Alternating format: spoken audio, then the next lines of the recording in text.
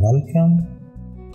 And uh, let us see how we can change this editor font you see sometimes we need a bigger font and the default font is either not readable or we for other reasons we want a bigger font here. So there are many methods to do that. Uh, first of all there is control S plus and control minus key for example uh, when we are here we press control and plus sign and it will increase this point. similarly if you press control minus it will decrease font and then there is a, uh, below there is a, a uh, slider to increase or decrease font it might not be visible Uh, because there is lack of space here.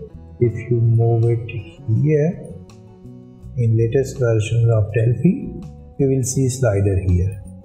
You see slider can move here and here.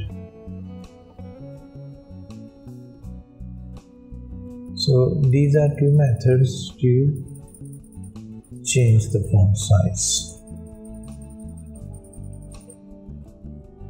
However, if you want uh, to change the default size uh, so that whenever Delphi loads, it uh, loads the default text in some other font or some other size, you can do it like that. Go to Tool, Options, and then go to uh, User Interface and then go to editor and go to display.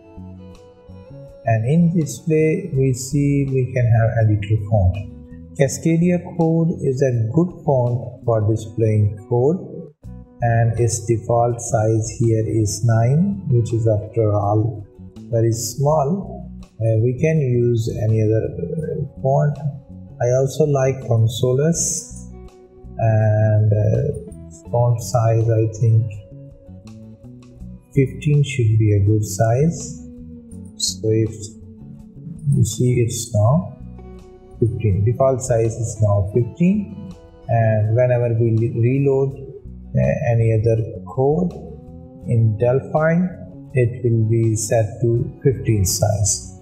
So these are three methods. Let us recap first we have control plus and control minus for temporarily changing. Then similarly we have sliders.